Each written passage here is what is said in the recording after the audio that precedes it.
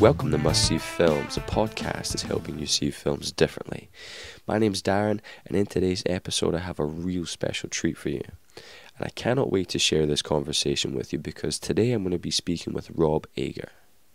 This is a man who started the YouTube sensation of film analysis, known for his detail, his depth, and his film analysis videos on The Shining, Monolith Explanation of 2001, Full Metal Jacket, and many more. And just as a little background, I sent my first ever videos of Punch Drunk Love and There Will Be Blood to Rob, and he was very supportive early on. And I'm extremely grateful because I didn't realize at that time in my life how important those videos would be to me and how Rob's work would influence mine and result in this kind of growing community of niche film enthusiasts that enjoy seeing films differently. So, this episode, I believe that it shares another side of Rob that hasn't really been captured before. He's incredibly friendly and funny and passionate, obviously, about his work. I hope this conversation gives you a little glimpse into both our processes of breaking down films, and I hope you find little nuggets of applicable information that you can enhance your own love and experience of films. So, without further ado, sit back and enjoy.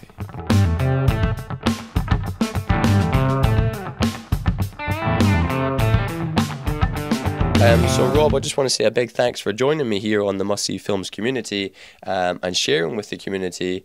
Um, and I think it's pretty safe to say if there wasn't a Rob Ager, I'm pretty sure there wouldn't be a Must See Films. And so I'm really excited to talk to you about also all things film and all things film analysis.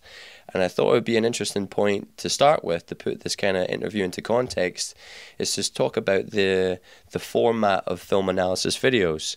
Because when I first came across your work, it was clear to me that not only was I interested in the films you were talking about, but the way in which you presented information in the videos I thought was very intelligent and very smart, and I thought I could replicate that with a, a few of my own favourite films.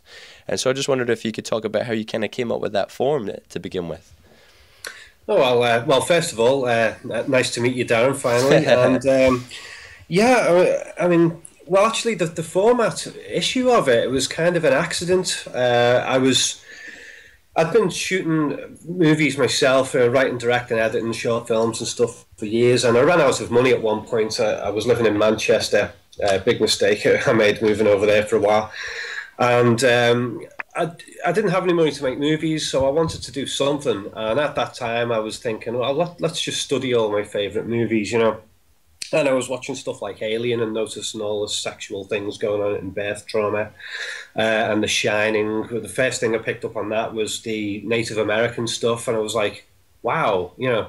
Uh, but I wasn't looking for things. I, I was studying classic movies to help me with uh, how I would make my own movies. I wanted to break down the fine details of what's the best way to shoot a scene, best way to edit that that type of thing, and by studying those movies in depth, I started to accidentally come across these themes hidden in the details, and I, which I totally didn't expect to be there.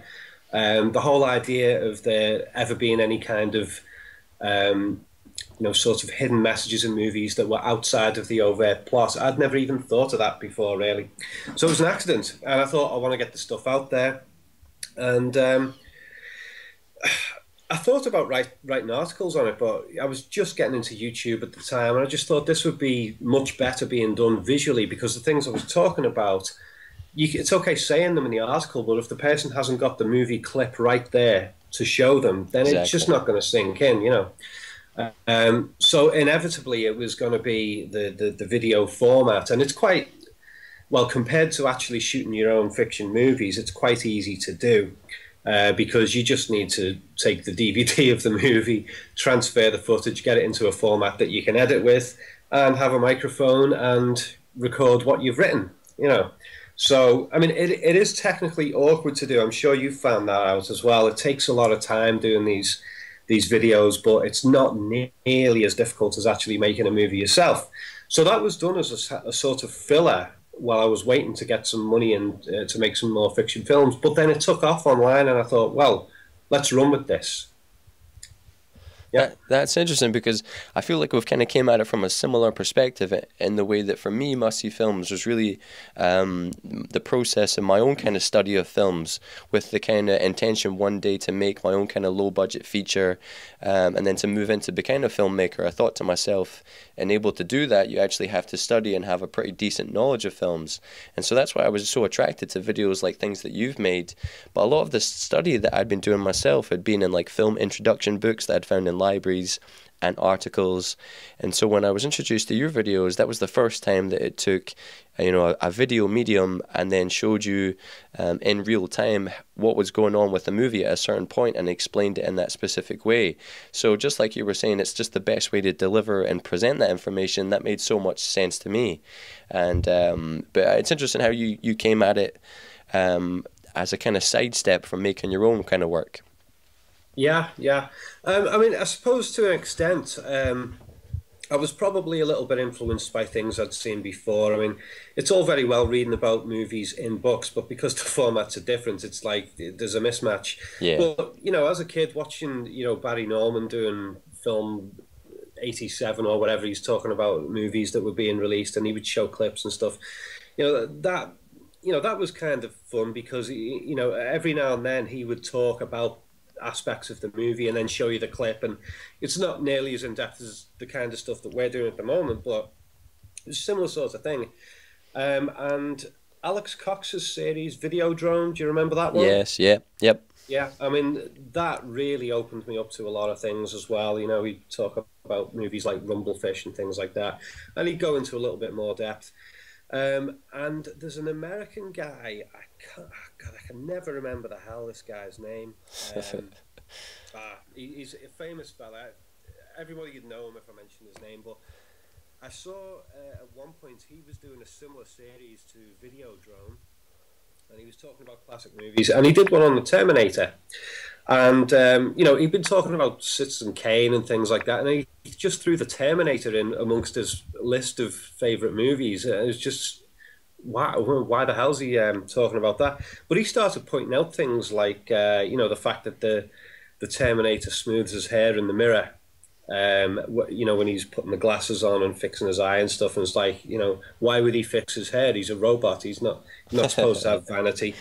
So yeah, he was pointing out little things like that, and that that was probably the first thing that I'd really seen that um, really made me think to look at the the visual details in a movie.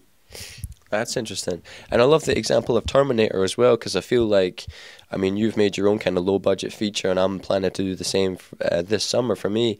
Um, but Terminator is a great example of kind of like a guerrilla low budget filmmaking of James Cameron. And I love his story and the way he tells anecdotes of how um, he created this film that is of such quality, but he kind of got around the money side of things and uh, solved a lot of problems creatively. So I love the film, The Terminator, but I love the story behind The Terminator as well. Yeah, it's a it's a marvelous piece of work. It still really stands up today. It does, and so I just wondered for you, how do you choose um, the films that you're interested in analyzing? Do you kind of ask for feedback from people, or do you just watch things and whatever strikes you, that's kind of what you move to next? Uh, generally, the films choose me. that's uh, yeah. Um, yeah, I mean, like I say, you know, early early on, you know, I was studying movies to try and find out how to make movies, and then certain movies started to reveal things that I didn't expect. Um, I know there's there's a lot of people. Uh, I mean, I've seen your stuff, uh, some of your stuff that you do online, and I really like it. And you, I think you were the only person I recommended when I did an interview for the New York Film Academy, and they asked who else's videos. You were the only person I recommended. But Thanks, I see a lot of people you. try and do the stuff online. Um, and it's very clear a lot of the time that what people are doing is they're picking certain movies that they like and then deciding there must be something hidden in this. Let's find it. Or they've already decided what the hidden theme is going to be, and then they start distorting the movie to fit into it. Yeah. Now I know some people have accused me of doing that, but that's not the way I do it. You know, I deliberately try and set aside all assumptions when watching a movie uh, and just try and see what what jumps out naturally. You know. Yeah, I think um, I think you got it right from me when you said that the films choose you because that's very similar to what I've said when people have asked me the similar question. It's because I feel like, I mean, you you'll know this too, but in order to write a script that you're going to record and then edit all the video to, you have to really enjoy that film to spend so much time with it. So Definitely. for for me, it's been a film that um, has either hit me on an emotional level, and I I can see that there's more structure and form and narrative there that supports a lot of the things that are going on in the story, and I'm attracted to it for that reason, um, or it's something that, that is very different, but it's really hit me um, either emotionally or just like viscerally. And so for some reason, I'm really attracted to that film, and uh, watching it on multiple viewings isn't a chore. And so every movie I've analyzed has been something I've really loved because you do spend a tremendous amount of time with it just to get to a, a 10, 15 minute video, maybe. Yeah, yeah. I mean, um, I mean, I did one on. Uh Revenge of the Nerds last month. yeah. And um, for some reason, that film had just stuck with me since I was a kid. I loved it when I was a kid. It was hilarious, and still to this day, is just so watchable. You know. Um, so I've really started doing that. I've started uh, recently going back and looking at these classic movies that you just love to watch again and again, and especially the ones that when you put them on, you can't switch them off. You know, yeah. Revenge of the Nerds, or even like Death Wish Two, which I'm doing at the moment for some reason, those two movies, I can watch them anytime and I can watch them right to the end without getting bored. And that says something about the, the quality of the movies, that there's something going on there that is a bit deeper, you know. Um, yeah, so yeah, the films choose us. Yeah, and I've had that experience with E.T. as well. Like E.T. was the first film I ever watched as a child, and I've kind of been on a, a roller coaster journey with it because as I got a little bit older and I actually understood what was going on, about seven or eight, it really started to scare me. That film it's so intense, mm. and then as I got older, I was kind of okay with it, and then as I got older again, and I started to take on this kind of love for filmmaking, um, I came back to that film and just really got this new love for this film, and then I read your kind of article on E.T. and it just opened my eyes again to like the layers and levels that is in that film. Since I've known it for like 20 odd years it seems yeah. to like keep giving you know? It's a film that just like continuously seems to um, it is. Evolve. it's superb. Yeah. Yeah. I mean um, I, I don't know if you've uh, seen it. I did have a, an analysis of ET on YouTube. It's it's now only on the DVD sets but yeah I'd watched that a while back yeah it's about a 40 odd minute video um, but it's one of those rare examples where a movie has come out that you know has had massive commercial appeal and the filmmaker about 10 or 15 years later has come out and said oh actually that was all about my uh, problems with my my father and the possibility of him leaving and the family breakup and this that and the other. Um, and I actually I got an email off a director in Hollywood a couple of years ago who He's not a very famous director. He'd done a few movies, but he'd been mentored a little bit by Steven Spielberg. And he told me that Spielberg had personally told him that E.T. is at least partially an allegory of the Wizard of Oz. Uh, so you get various bits of imagery in the film related to the Wizard of Oz with the uh, the rainbow blinds and the uh, I think there's a, a blimp seen on the wall in the, the daughter's bedroom, things like that. You know. Um, that's so yeah, ET is a great example for the for, for the fact that it's been admitted that there is deeper content. Yeah, absolutely. And so I just I'd be interested to know for you, what were those films growing up early on for you that made you fall in love with cinema, that made you kind of want to study it as an art form and want to make films yourself? What were those films that jumped out for you? Right. Okay. Uh, Blade Runner spring, springs to mind. Nice. Um, I was obsessed with that film for a couple of years in my teens. Just thought it was just stunning. Um, just I never had any sort of intellectual breakdown of it. Just thought the atmospherics and stuff were just amazing, and the yeah. the concepts. It, it, just certain movies that got me thinking a lot. Every time I saw Blade Runner, it made me ask new questions, wonder about new things. Space Odyssey, uh, The Shining, scared the hell out of me as a kid and it probably took me about 20 years before I finally sussed out the the set design thing with the impossible layout of the hotel. All those years that had been playing on me, and I didn't realize it. Um, so, so did Alien. you did you watch The Shining like as a child? Yeah, it was. it, see, the thing is, I mean, my dad, he was a really big film buff, and you know, we were one of the first families in our neighbourhood to get a VHS uh, machine, and So he started recording all these Hammer horror films and everything, and they, they scared the hell out. So he stopped showing me those. But then when I was seven years old, video stores opened um, in Canada where we were living at the time. And um, he brought home the very first two VHS movies we ever rented, and we watched them both on the same day. It was Alien and The Shining. Nice. So that was one of the best viewing experiences I ever had in my life, watching those two movies at home. Um, yeah, to- totally amazing. Um, but I mean, other movies that sort of played on me as a kid and got me interested was, uh, I mean, you mentioned the Terminator before. Yeah. Um, uh, Aliens was, I mean, everyone loved Aliens when that film came out. You know, it was a big action movie and stuff. But there was a documentary on there on TV here in Britain, which was um, a behind the scenes making of Aliens, and I saw that before I saw the actual movie. Oh, it was okay. about an hour long, and um, it was the first time I'd ever really watched a documentary that showed a director really speaking a lot about what he was doing and showed a lot of the actual filming process. And it was fascinating. That one really got me interested in filmmaking. Before that, I mean, I just thought of movies as something that somebody wrote as a script. Um, and then the actual concept of how it was filmed it never really entered my head. I'd never really seen any footage of people making movies. So Aliens was the first time I saw that. Uh, and watching Cameron direct, I thought, oh, that's that's the guy. It's the director. That's the guy who, who, who brings it all together. And I thought, that's yeah, that's what I want to do. Yeah.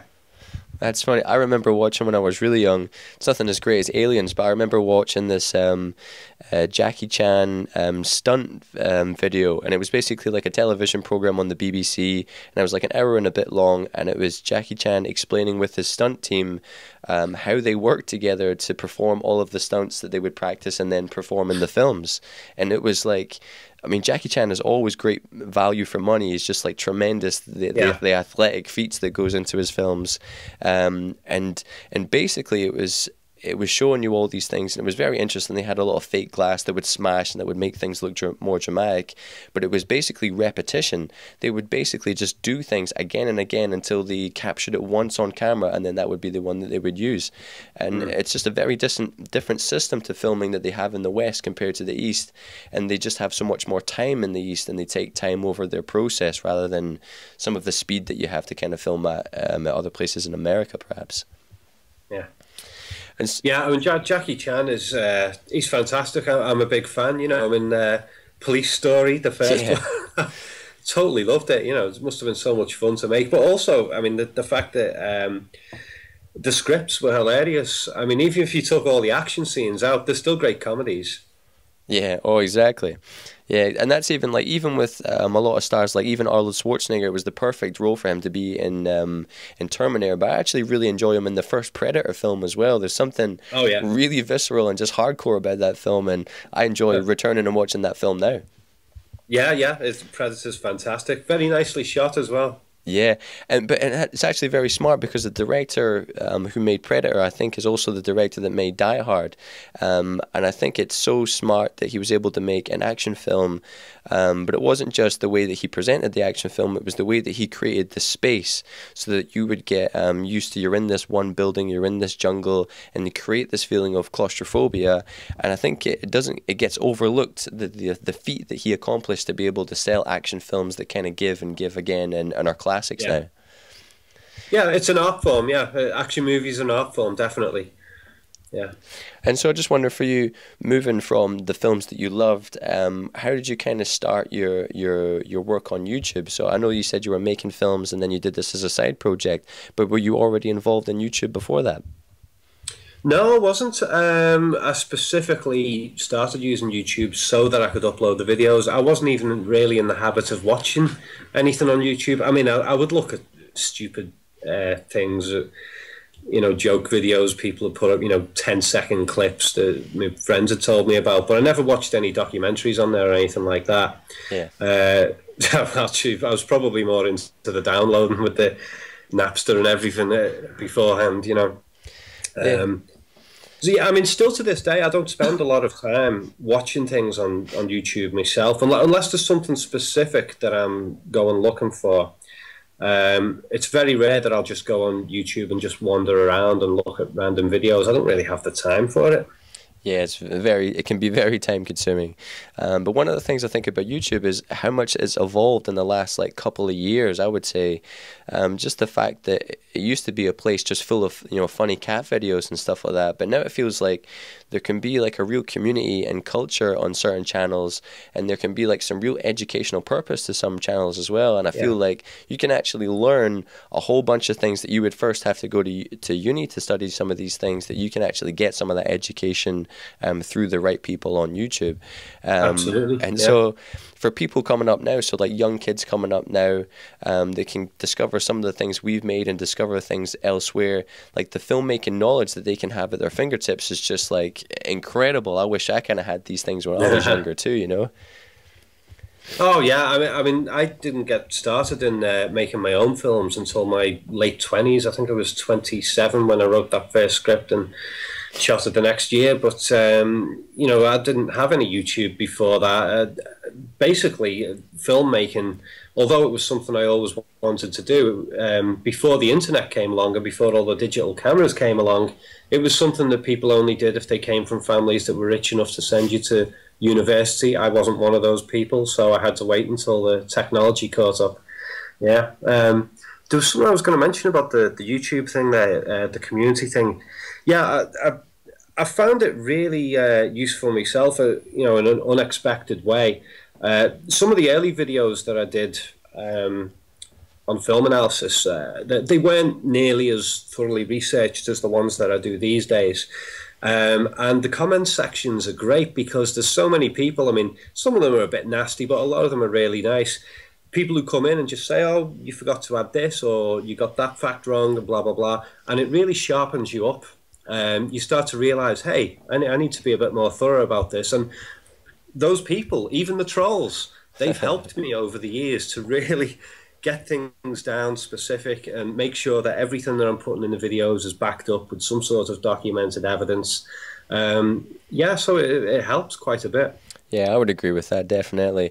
I wish I, if there's only thing I could wish now, I could I would wish I could go back to some of my early videos and make some of the audio better on some of them because that's yeah. that's the thing that some of the people comment all the time, and I feel like I made them so long ago now that um, I've kind of forgotten about them, and they still kind of exist, and people find them at different points. And if it's the first video Def- they've definitely yeah, like if it's the first I mean, video they've seen of mine, I'm like, oh, it doesn't really sell me how, how it should be. Yeah, it's. I wonder if it's like a confidence thing because I, I know, like when I started off doing the stuff, I, I, I just sort of seen it as an experiment. I thought a lot of people aren't going to like this. People are just probably going to tear it to bits, and so I didn't really put much enthusiasm with my voice, and my voice was totally monotone in the videos. Even at the best of times, my voice is monotone anyway. Um, but gradually over the years, I, I have been sort of slowly um, trying to put more effort into, you know, get get some life into my voice for the videos.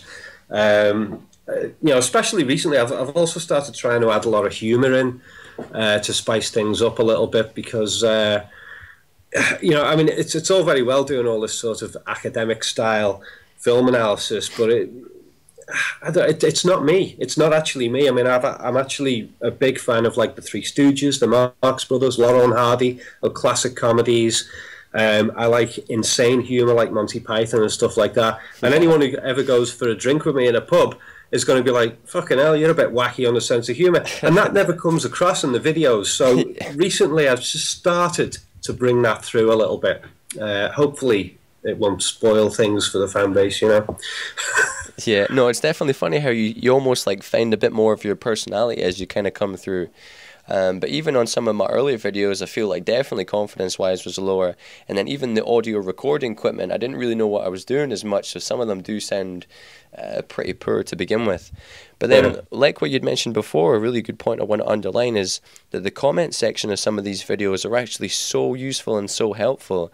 Um, like I did a kind of podcast um, on Under the Skin recently, the Scarlett Johansson film, um, oh, yeah. and it was basically just my thoughts of of having just seen it. So it was like an, a download dump of everything I kind of thought about that film, and people just started adding things in the comment section.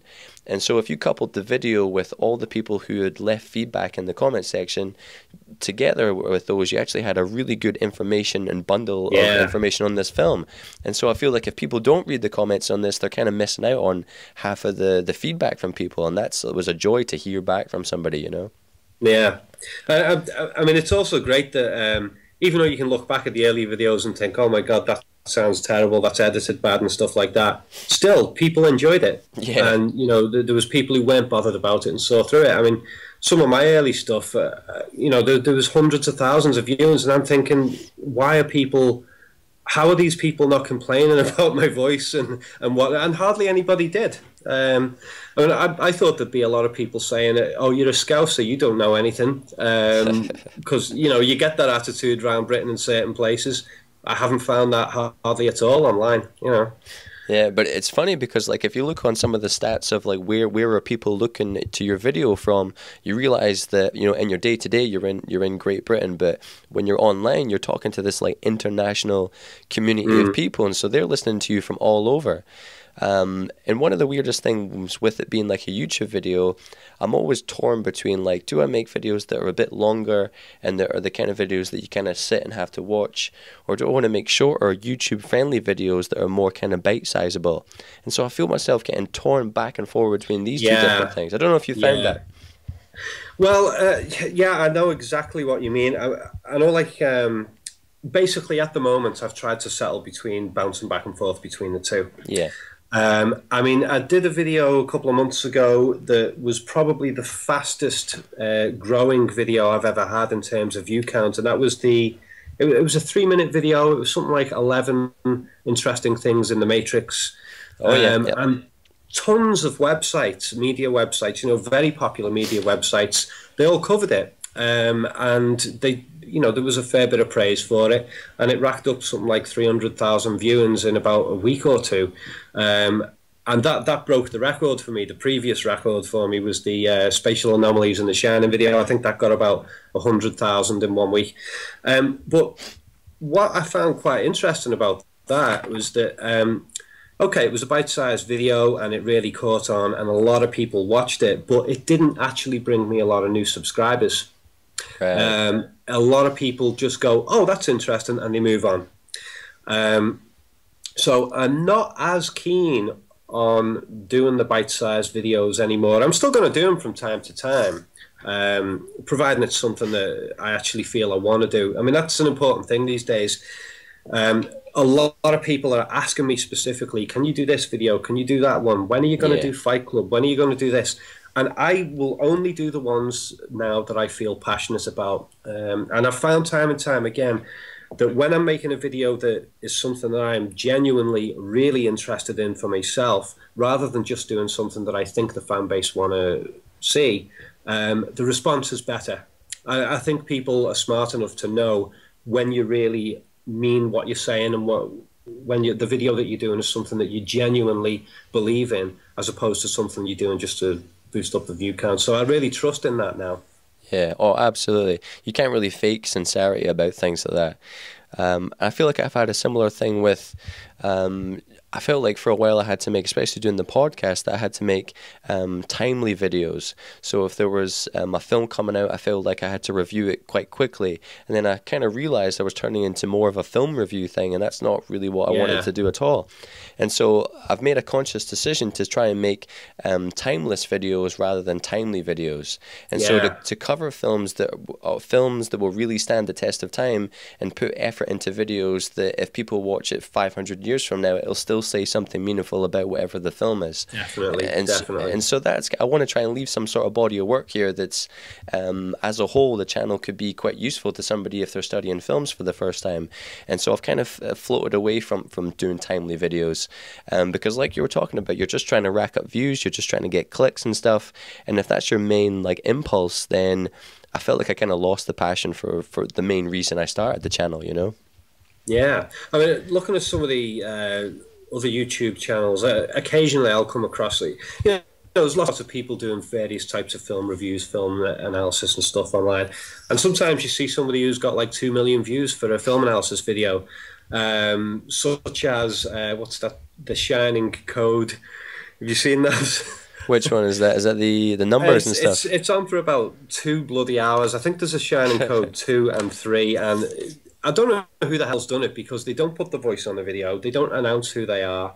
Um, it's just um, a lot of text put over the Shining movie, making various claims about the movie, and uh, you know it's, it seems pretty ridiculous to me. But it's got like a million or something views. Um, but often I find with these channels. Uh, okay, they might have a million views for one video, but then you go to the channel and they've got like about 3,000 subscribers um, rather than like 50,000 or something. You think, well, hold Yeah. on, they just had a one hit video that did nothing for them. Um, and also depends what kind of audience you want to reach. Um, I mean, I'm losing interest a lot in the the people who just want a bite-sized minute or two of oh that was cute, you know, entertainment.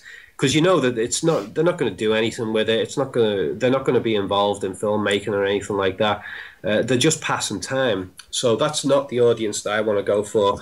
I want the people who are really interested in learning about things, whether it's movies or whether it's certain subjects that are being covered in the movies that I'm talking about. Um, yeah, pe- people who are going to take on board what is shown. Yeah, no, I agree with you. I feel like some of the best success I've had with the channel is people that have kind of emailed me separately and then just I'm sure you'll have had the same experience where they email you and they almost like open their heart to you and they say, Yeah, yeah. This this film that you've covered here has allowed me to see this film in a different way and then that film has kind of changed my life in some way.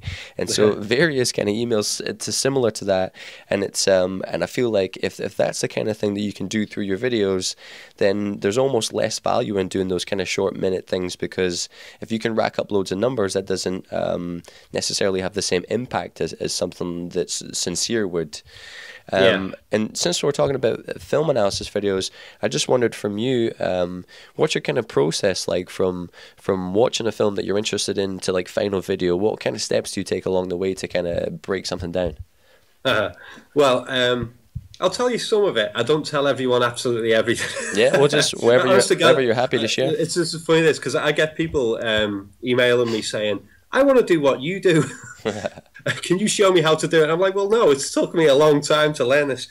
Okay, um, let's see. Uh, okay, first of all, is the, the the thing of the film chooses you, as you already mentioned. Yeah.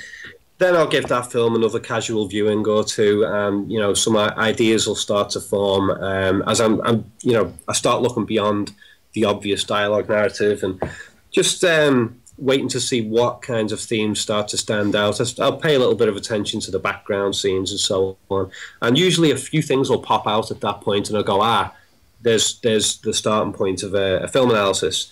Um, if nothing ha- like that happens, then I usually just move on from the movie and say, oh well, there's not much there. Yeah. Um, if a few things have popped out that are interesting, um, things that are clearly clearly have been done uh, as an an additional element uh, beyond the obvious plot, um, then I'll start to do a, a serious breakdown, shot by shot, scene by scene of the movie. And I'll have a pad of paper and a pen, go through the movie, watch it bit by bit, just looking at everything, listening to everything, making notes.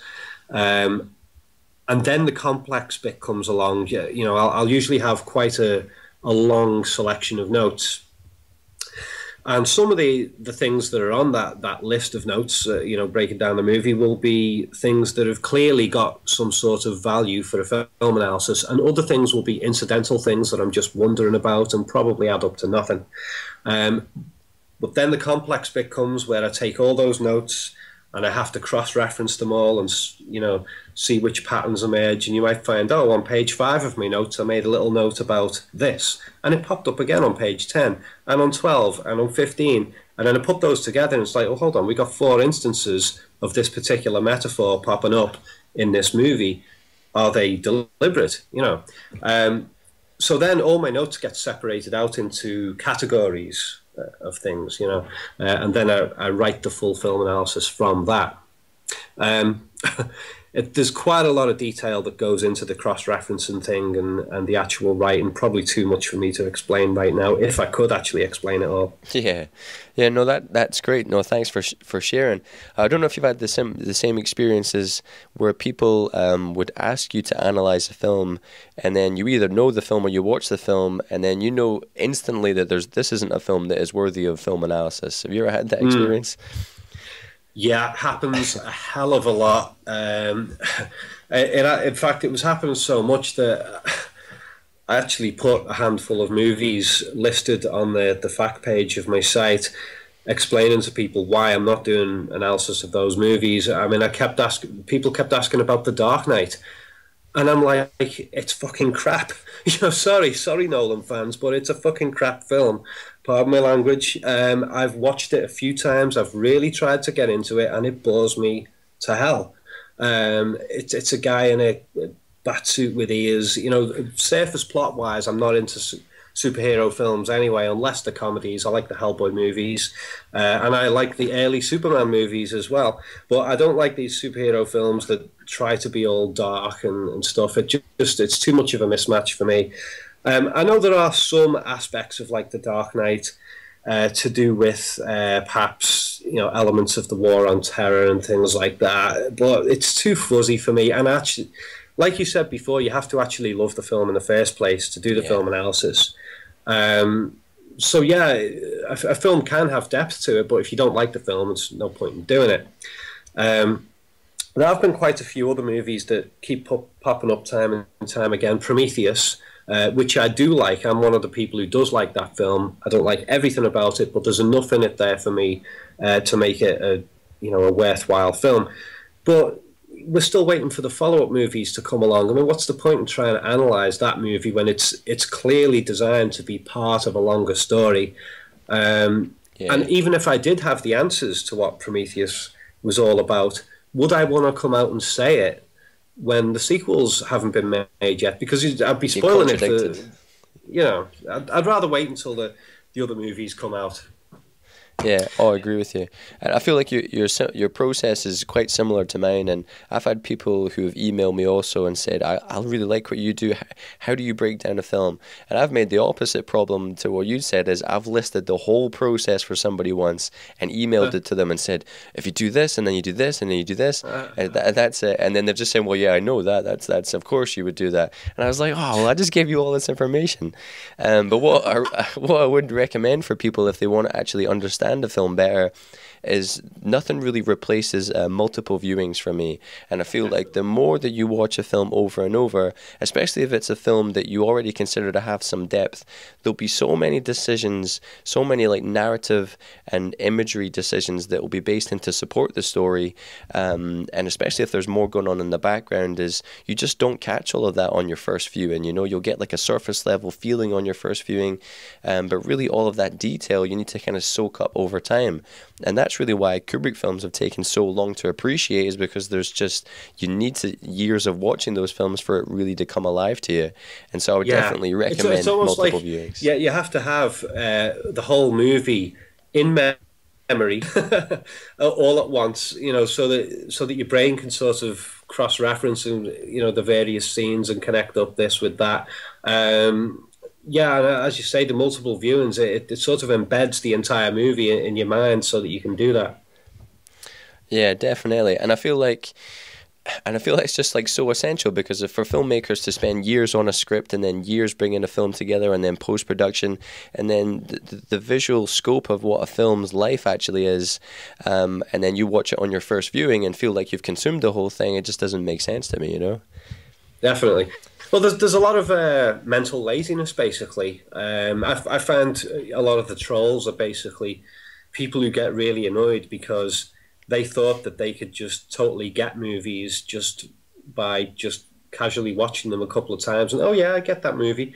No, you don't. You know, if you've ever actually been on a film shoot, just filming one scene you've got all the dialogue, you've got the costumes, you've got the set designs, uh, the props, and there's so many things just going on in the filming of one scene. Um, and even if you're not putting hidden messages into a movie or anything like that. If you're just shooting by the script, even then it's really complex to do, and there's a, a thousand things that can go wrong on set at once that you have to plan for. Um, you know, multiple takes and all that kind of thing. And it, just the amount of work that goes into it is incredible, and the end product is very, very complex, even for a straight narrative film. Um, yeah, so I, I think a lot of people don't want to deal with that. You know, it's like, oh, I, I don't want to sit down and study things. I just want to uh, let my instincts tell me what it's all about and then trust that that is as good as anyone else's assessment. Uh, so you get that type of thing, yeah. Yeah, and it's funny because sometimes filmmakers intentionally take that um, initial impulse and then misdirect you, and then so allow so many people to believe that one thing is true, and then if you actually look at the film closer, there's something in there that con- contradicts the entire film. Um, and so I've seen filmmakers use some of that um, expectation against people, you know. Yeah, yeah, I mean, it's funny because, uh, like, um, I mean, I've got Death Wish 2 in my head at the moment because I've been studying that for the last week or two. And uh, I've been reading through, I mean, as an example of the, the, the kind of, uh, you know, more extensive research that I'll, I'll do these days, I've got, um, I've got multiple versions of Death Wish 2, you know, because it was cut in various countries. Um, I've got the book Bronson's Loose, the making of the Death Wish films by Paul Talbot. That's got some interviews and stuff. I've got Michael Winner's biography. So it's not just a case of studying the movie; it's a case of gathering lots of information from other sources about the production history. Yeah. So that when you when you look at the film and you say, "I think this was done for that reason," you can check these other sources. Sometimes it verifies what you're thinking, and sometimes you find out it's something else. Um, but one of the things I found it with um, like Michael Winner was quite open um, about his filmmaking techniques and stuff, and he does mention in his biography there at one point that um, if he makes a commercial movie and only 15% of the audience get what he actually wanted to say beneath that surface narrative, then he's happy with that. You know.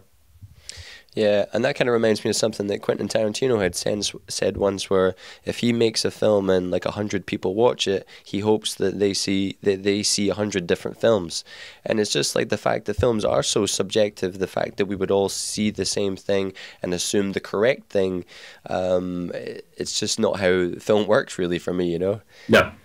Um, and so, since we're talking about filmmaking a little bit, I just wanted to speak about your own filmmaking experience, and then um, you're dealing with kind of creativity.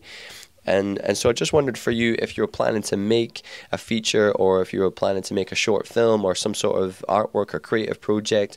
Do you have something that you do that helps you um, get into a creative place? Do you have any like rituals or places that you sacred places you go? Um, I'm very lucky in that respect uh, because I'm able to switch that creativity on just about any time, anywhere. I don't know why I've always been able to do that.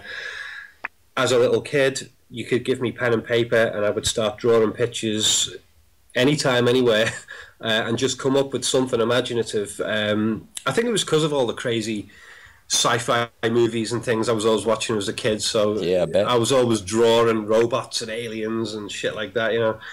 Um, and then I started uh, writing short stories in my teens, and uh, I think because my imagination always just went so wild as a kid, I've always got like a thousand stories sitting in the back of my head anyway. So it's not like I have to think something up. I just have to tap into stuff that's already there that has been floating around in my head for years.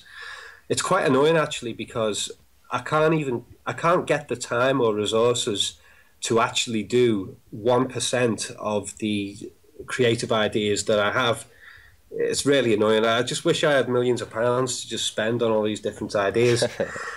um, let's see. Uh, I know a lot of people have trouble with you know, things like writer's block and stuff, and um, I would say that the major thing that holds people back creatively, from my past experience of working on movies, I mean, like when I've um, directed movies, I've had a lot of people working on the sets with me who were academically trained in film, and I'm not. And their confidence level would often be really low um, in terms of wanting to make films themselves. It's like they, they had this idea oh, if I just, if I'm just the prop man on this set, do that, and then I just do the camera work on that set, and then I do this, and then I do that eventually I'll build up the confidence and the experience and the knowledge to be able to make a film myself. Yeah. And a lot of people spend like 20, 30 years in the film industry running around doing those tiny little jobs, and they never ever get the confidence to do anything beyond it. Um, and I think the basic problem is the fear of criticism, uh, the fear of yeah. failure. Um, you've got to allow yourself to fail, allow yourself to do things wrong and badly. And when other people come along and point and say, oh, well, that was crap, you just say, well, so what? You still learn from the experience anyway. It teaches you what not to do next time.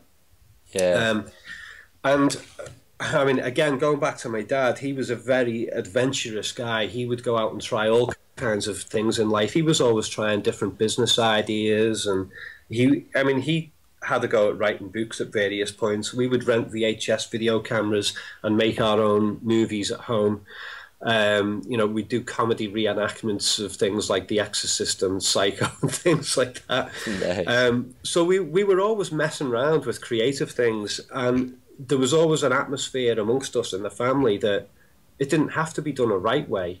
As long as you have fun trying, and, and in the process of trying, you learn things where you know, even if the, what you create is rubbish.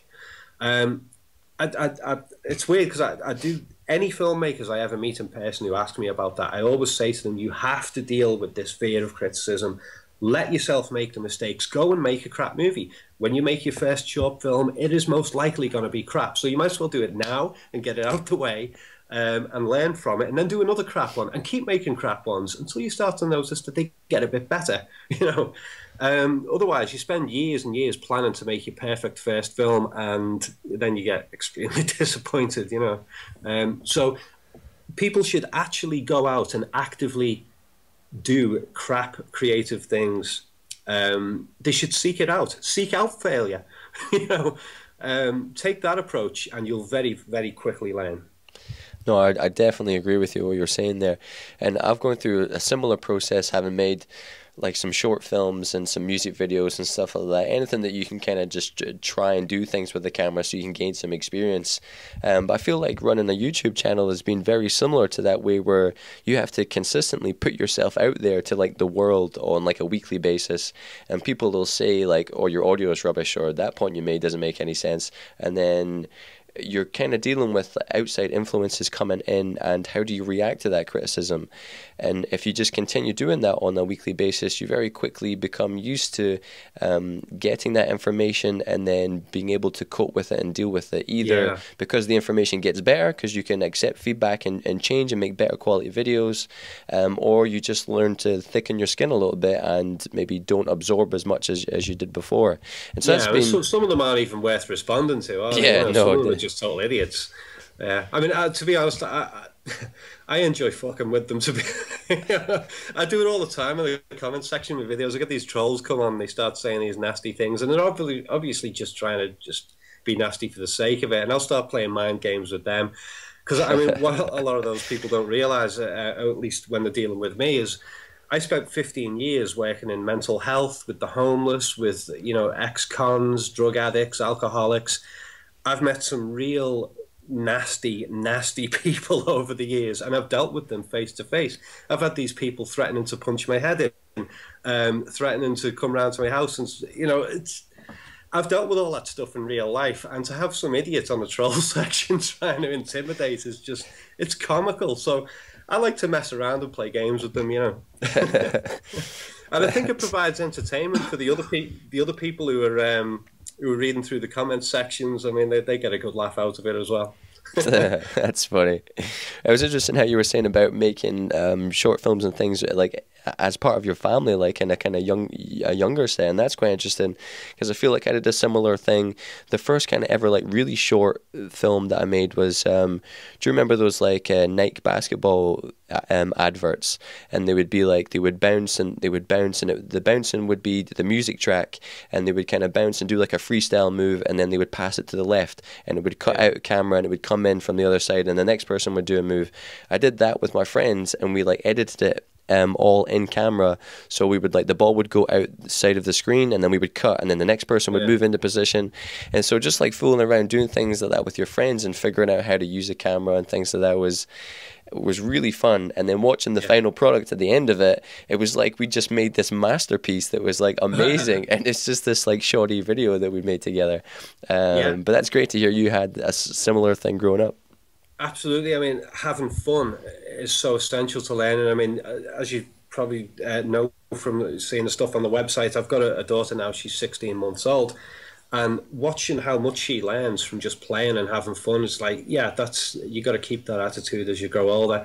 Uh, like, like I said, I mean, we used to do comedy reenactments of videos when I was a kid. You know, my, my cousin uh, got dressed up with a shower cap and pretended to be the uh, shower murder victim in Psycho. Somebody was stabbing at him with a Lego knife through the, the and somebody else is throwing blood on him, and you can see the hand coming in and throwing blood on him. You know that kind of thing. It's just funny. loads of fun. I mean, you look you look at the end product and you think there's so many mistakes there, but years later you think, well, hold on, if I was actually shooting that scene, I've got to look out for the hand that's coming in screen and throwing the blood. Um, I've got to make sure that that doesn't look like a, a rubber or Lego knife. It needs to be shiny, so I've got to put something, you know, coat it in some Vaseline or something to give it some, make it glisten, you know. Um, so yeah, you do learn from it definitely. Um, another thing we used to do when I was younger was um, we, we got two VHS machines, um, and my dad had the leads to copy movies. You know, everyone used to go Yeah, to the video yeah. store and rent movies. Well, we used to rent them and copy them. You know, it was illegal, we, but then we'd have our own copy, and that allowed me to watch movies again and again. Um, but my, my dad had sussed out this thing where if we removed the audio lead and just recorded the picture and plugged the microphone into the second VHS machine, we could actually dub our own ad lib dialogue over the movie. That's So- amazing. With my cousins, we ended up doing it like our own comedy dialogue dubbed uh, version of Rambo. We did pretty much the whole movie, um, all ad libbed, you know. And I mean, you would cry with laughter. If I had that video now, I'd, I'd put it all up on YouTube because I think it would get a lot of views. Um, yeah, I mean, we had a quite a blast with that. But I mean, but again, that teaches you about audio editing. You know, um, about syncing things up and. Um, you know that's a, it, it's all learning just do as much as possible um, make it fun and allow yourself to just fail Yeah, totally agree with you. And I think the the point that we're kind of talking about is you can't really fake um, curiosity and excitement when it comes to certain topics. And so when people have asked me for advice before, it's hard for me to tell them to do what I've done because that's just not going to work for everybody. So I kind of said to them, just follow whatever makes you excited, follow whatever your curiosity is, and then you'll just be naturally driven towards it, and then that will lead to um, educating yourself, and then things will come from there. You know. Yeah, but again, I think part of that goes back to the thing of uh, what we were saying before about um, the conf- the confidence thing. I mean, these people who are contacting you and asking, "How can I do what you do?" What they're basically saying is, "I know that what you do works, so how can I do it?" Yeah. um, and they feel comfortable with that because they're, what they're asking for is to to tread to walk a path that somebody else has already walked, you know. Yeah. Um, and I mean, you can you can learn elements from other people in doing that, but if you don't branch off from that path yourself and try some new directions, you're not going really going to break any new ground. Um, and, and if if that's what you're going to do, then what's the point? You know. Um, I, I know, like with with your stuff, I've seen on your channel, you've you've been working on this thing, as you said before, about trying to find the, the, the balance between doing the really in-depth long videos which take ages to do Yeah. and doing these really short videos. And to be honest i haven't got that cracked either yet. Sometimes i'm going a month without making a new video because what i'm working on is too in-depth and takes ages to do. And meanwhile the fan base are like well where are you you know? Yeah. um, but you've done that thing where you know you do these must-see films, and um, I haven't watched a lot of them, but it seems that you've got you seem to have hit on a format that allows you to get material up more regularly than I do, uh, and well done to you for doing that. You know, and that's an example of you branching out away from like whatever you've learned from me. Yeah. You know, um, Well, that's I felt like a similar thing that you'd had before is just being like frustrated with making a film analysis video. And then for me, having made it, um, that wasn't my favorite part of it. Studying and making it wasn't my favorite part. It was when you shared it and people started speaking about it in the comment section. So really, yeah. for me, it was the back and forward with people that made it feel a bit more like a community. And so I thought if it's taking me like a month to make a video, then I don't get to do my favorite part for like another month. Um, yeah. So I wanted to make something that was like shorter a bit more informal, um, so that I could share on a more regular basis and then just be a bit more in touch with people. And so that's why I kind of created these podcast videos. And then as my confidence is growing, instead of just doing podcasts by myself, I've started reaching out to other kind of film enthusiasts, and I've just recently been doing them similar to what we're doing right now. And and that's been a, a huge step up for me because my favorite part being the conversation between me and other people. That's exactly what I get to do with these kind of uh, two people podcasts. Yeah. Um, but I understand the frustration because I felt that same thing with myself for ages, and it's how do you tackle that? You know. Well, I mean, there's another aspect of it for me, which is. Uh, you know, adds more complexity and awkwardness to it. Is that a lot of people who um, spend a lot of time doing YouTube videos, they they earn their money from the uh, the, the, the clicks. You know, they, they, they have their monetized videos. Um, you know, so many clicks, they get so much money for it. Yeah. Um, and I've had some of these companies contact me, you know, to try and get my channels monetized.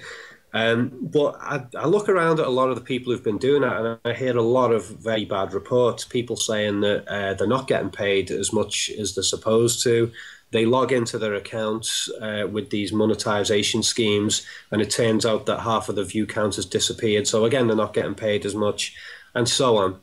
I just don't trust it enough to do it that way. Yeah, uh, and I'm not convinced that I would really um, earn enough money from doing it that way.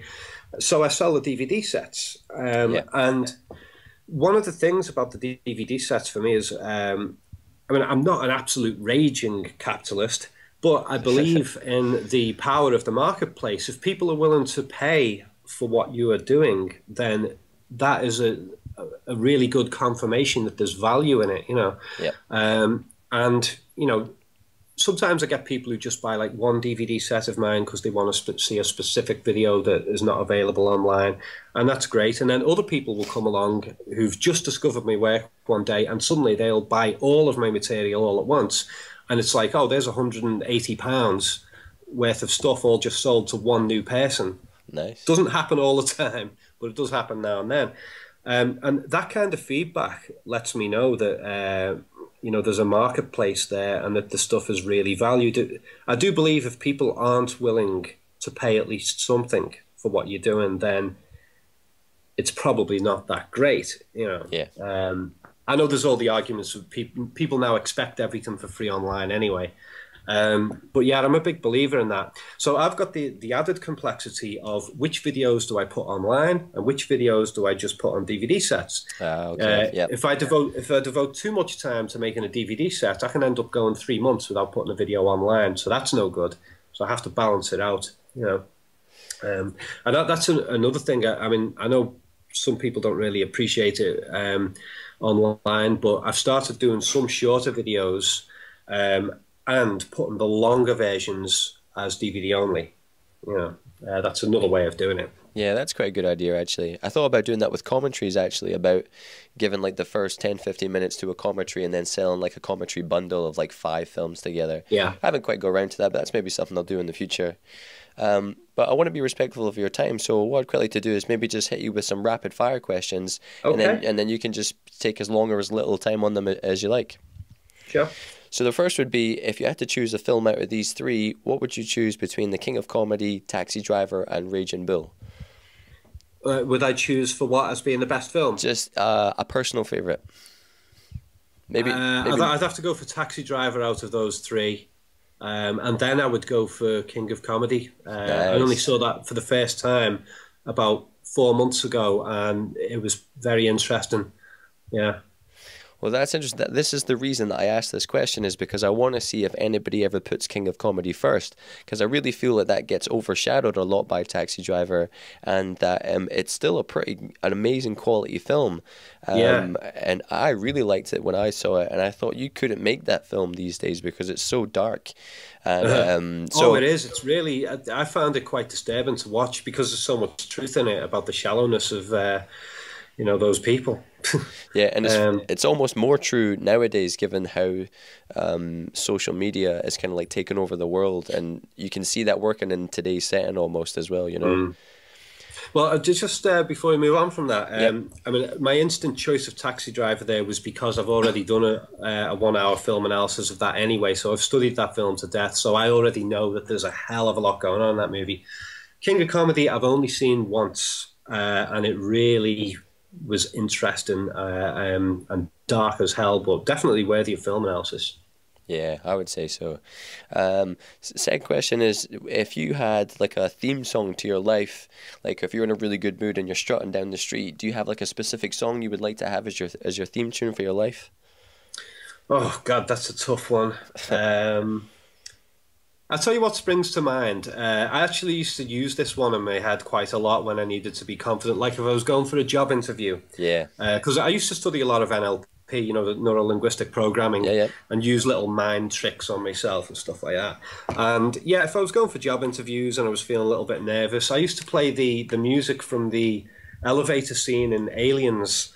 You know, when Ripley's getting tooled up with Oh, all okay. the, gun, Yeah, the yeah. guns and the flamethrower, and you got the drums going, and it's like, wow, and it's building up and building up, and she's totally empowered.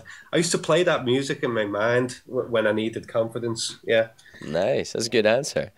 Um, when you hear the word filmmaker, who's the first person that jumps into your mind? Kubrick. Kubrick. Um, it's funny because we've had so many different answers to that question. Like some people have said Hitchcock because he kind of has the image as a director. A couple of Spielbergs have jumped up, and then for me it would probably be Kubrick. Do, do you have a reason why, or is that just the first person that came to you? Actually, uh, Kubrick and Lynch came at the same time. In answer to that one, um, I would pick Kubrick and Lynch because they seem to make the films in which they had the most control and were expressing the most in their movies compared to anyone else. You know, the the the movies that they made were their movies. You know? Yeah. yeah. And it's funny talking about Lynch. Like a lot of people like his very Lynchian work, like Mulholland Drive and things like that. But I like his actually tamed slightly a work. Like I like um, Straight Story and Elephant Man a little bit more. Just Great movies. Yeah, really great movies, and they're my favorite of his, to be honest, rather than some of his stranger stuff. Um, and I I mean, they, they do show. It's interesting. Those those movies show that. I mean, a lot of people think Lynch is, um, you know, the, especially the people who can't be bothered looking beyond the surface. They look at his crazy stuff and they think, "Oh, this filmmaker doesn't know what he's doing." Well, go and look at the Elephant Man. It's a perfectly well made, straight narrative movie. It's not historically accurate. The Elephant Man was a good businessman in real life, apparently, um, but it works perfectly well dramatically. It's well acted and all that, you, know. And if I remember rightly, there was various awards that the film was up for. David Lynch is perfectly capable of making a normal, straightforward narrative movie. It's just not the way he chooses to do it all the time. Yeah, for me, I really like uh, Blue Velvet. It feels like that's the kind of perfect balance between Yeah. actually telling a, a straight narrative story as well as um, having some of the, his really stylistic work in there as well. And so I've done an analysis on Blue Velvet, but I think only because it has that balance of both things and it's Yeah. so easy to watch, and so I like it for that reason. Plus some of the ins- insane think that- performances. that's the general fan favourite is Blue Velvet, isn't it? I think it's for that very reason. I mean, Mulholland Drive and Lost Highway, you can't really. Although they're quite sort of Hollywood in the way that they're shot and they, they, they look quite nice and stuff, you know, it's um, and they're, they're quite dramatic in places. uh, It, they're not straight narrative movies. You can't just watch them with a simple mind, uh, but you can with Blue Velvet for some reason. You, know, it's uh, yeah. Yeah, I agree. Um, so I just wondered here, this might kind of bring us back to the same people we've just mentioned, but if who is a director that you would like to have a conversation with, like living or dead, like if you could sit and actually pick the brains of this of this man's head who or woman's head, who who would you choose? Yeah, right. Okay. Now, I'm not going to say Kubrick because I don't think he'd tell me everything I wanted to know. yeah, that's right. he'd just laugh and not answer. Um, let's see, who would be. Oh, just give me a moment to think about that one. Um, possibly Paul Verhoeven. Right. Okay, that's interesting. Yeah, because he's a really, really good director in terms of he was able to make these incredibly commercial movies that everybody loved.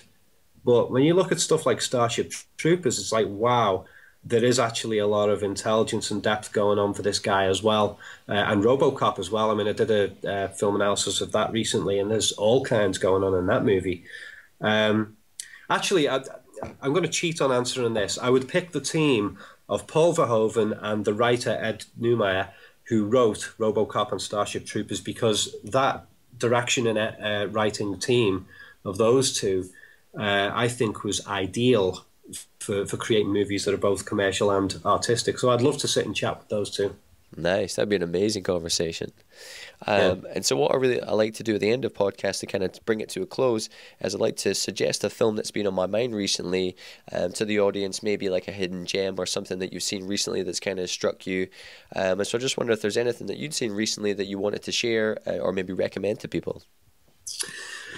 Oh, Right. Again, I'll have to think a moment to that one. Are you talking recent movies or older ones or what? It's up to you. Sometimes it's great to see, or like I've seen a new movie like Whiplash has just came out of the cinema, or like take it right back to like a hidden gem that people may have never even heard of before, but something that you yeah. think is is worthy of watching.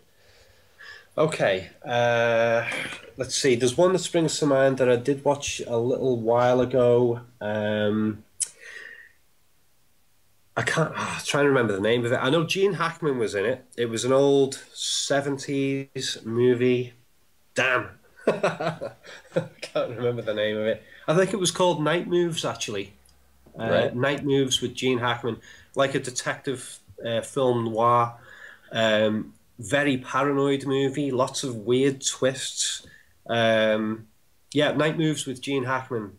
Nice. Awesome. I think people yeah. forget actually how amazing Gene Hackman is. Like I watched him, what was it I watched him in recently? Uh, I can't remember what it was, but he's actually an amazing actor, and you forget how just because he hasn't been in that many recent films, he's an incredible American actor. Yeah, he is really good. I mean, a, a big fan of him is Lex Luthor as well. you know? Yeah, he says uh, one of one of my favorite lines of his is. Um, uh, everybody's got their faults. Mine's in California, you know, because he's going to blow California up along the fault. Yeah, it's, uh, Hackman's great. But it was um, just uh, before we move on there, just on Hackman, uh, I, I, found it quite funny. I was watching um, the what, what what was the, the detective movie he did that was really famous? That there was a director of The Exorcist. Um, the one that he did with Will Smith. No, no, no, no, no, no. no. It was a, an older one. Oh, the French one, the French. Uh, French Connection. The French, French Connection. Connection. Yeah, yeah, yeah. Yeah. The first one, yeah. I mean, the second one was good as well, but the French Connection is a great movie. I'm sure you've seen that. Yeah. Yeah. Um, I was watching some of the interviews with the director of that one. Um, again, people's names are popping out of it. Um, Billy Friedkin, that was it, was the director. Um, Billy Friedkin was saying in these interviews that he thought Gene Hackman was a crap actor. I mean, he was, didn't mince his words. He was go. He was saying, "I did not want this guy in this movie. The guy can't act," and blah blah blah blah. I don't know why he couldn't stand Gene Hackman as the lead in his movie, but I thought Hackman was great in it.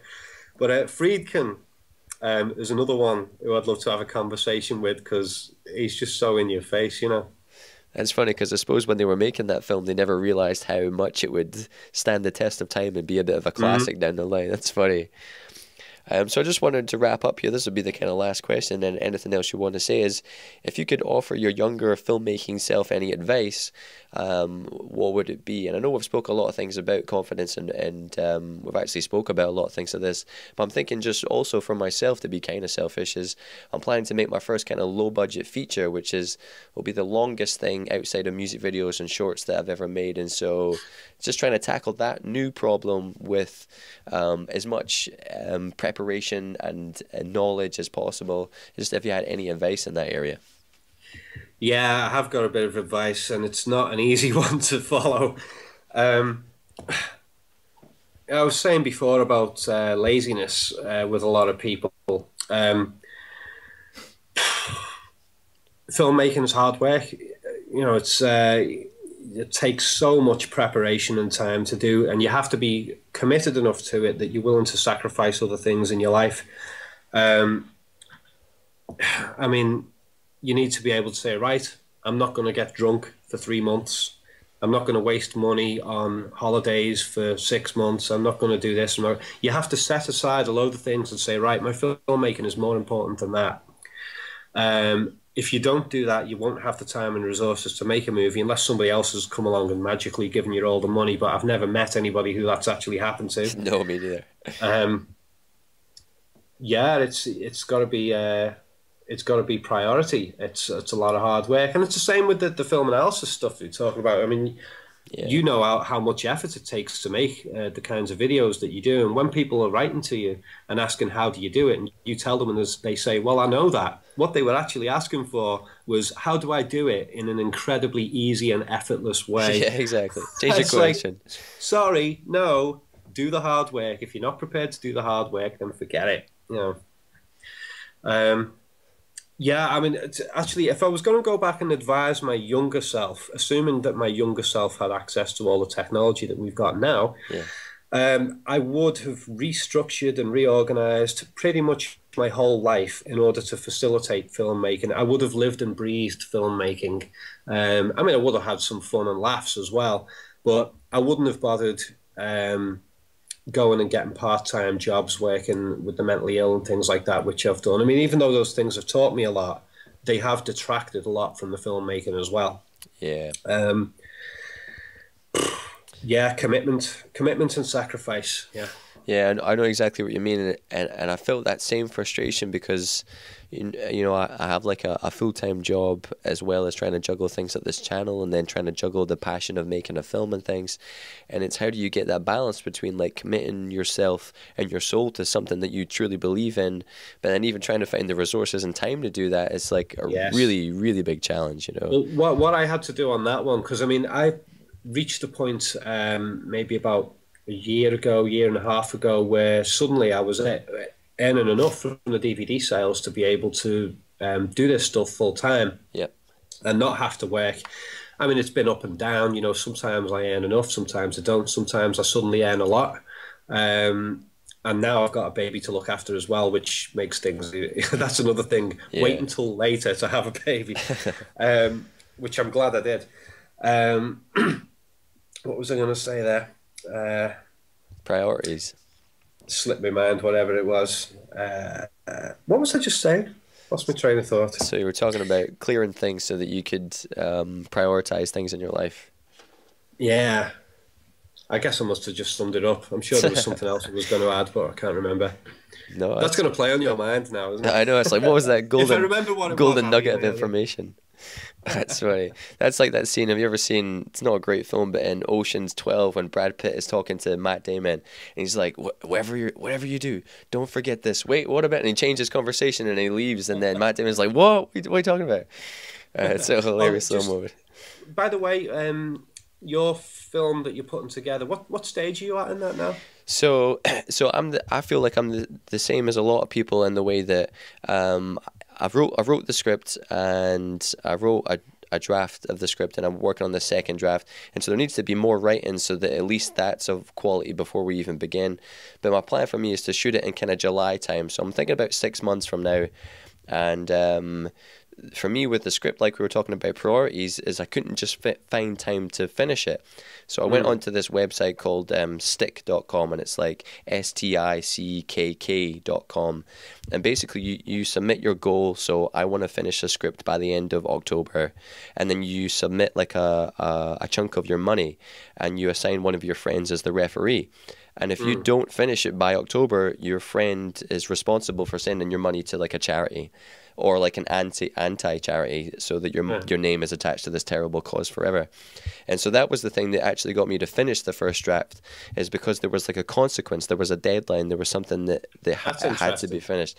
Yeah, and I felt like if that deadline wasn't there, I would have just kind of got round to it and it never would have happened, you know. Well, there's one little bit of advice that I'll give. I, I used to do some filmmaking workshops here in Liverpool. There was filmmaking groups I used to go to, and the most important workshop that I would do with people. Um, it's totally essential for anybody making a film in any uh, situation, and that is to sit down with pen and paper and write down every possibility of what can go wrong with your film shoot. And it's amazing the list that you can come up with. Oh. You know, this this actor might walk out, the camera might get broken, this piece of equipment will get lost, and you'll be surprised at the thousands of things that you end up writing down. Once you've done that, then you've got to sort of categorize according to likeliness. I mean, getting struck by lightning and hit by meteors is unlikely, yeah. but you'll find Could a hell happen. of a lot of things on the on the list.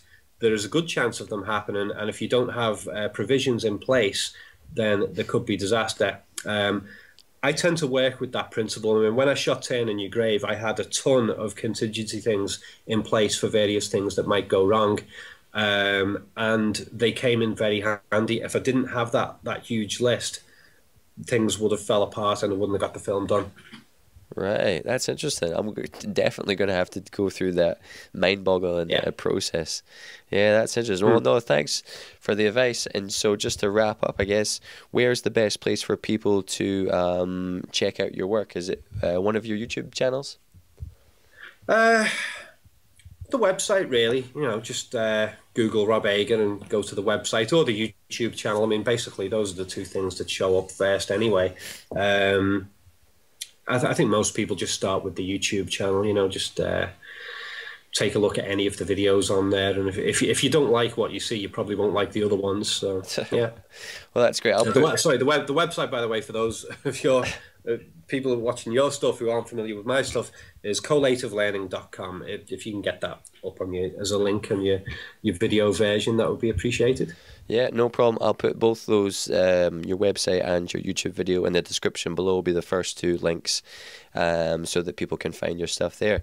But uh, cool. you know, a huge thanks for sharing with the community because I'm sure they um, enjoyed this conversation because a lot of people who have found um, my work have, I'm sure, have seen a lot of your work and are interested in that same kind of niche of film analysis. Um, and so, a big thanks for coming on and sharing with the community. All right, thanks. Cheers, Darren. No problem. You again. So I hope you enjoyed that conversation there with Rob.